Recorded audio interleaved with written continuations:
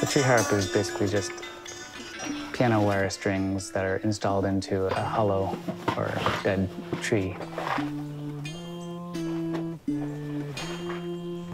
It's for sure it's not a regular instrument. It's just there for the temporal time in that tree.